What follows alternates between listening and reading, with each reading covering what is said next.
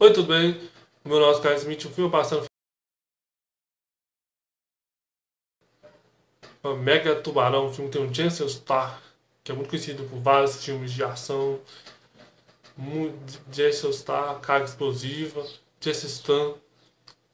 Esse Mega Tubarão é um filme muito bom. Mega Tubarão é um filme de ação, ficção científica.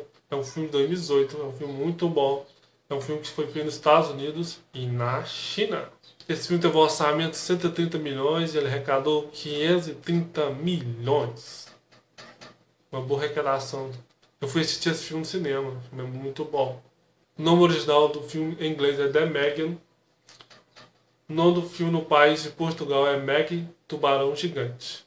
Esse filme tem uma aprovação no site Rotten Tomatoes 46%, que o filme Mega Tubarão teve de 46%. O filme é muito bom, gostei muito desse filme Mega Tubarão, filme do Jensen Starr, conhecido por Carga Explosiva, por vários filmes. Se você gostou, inscreva no canal, inscreva no canal e até a próxima. Tchau!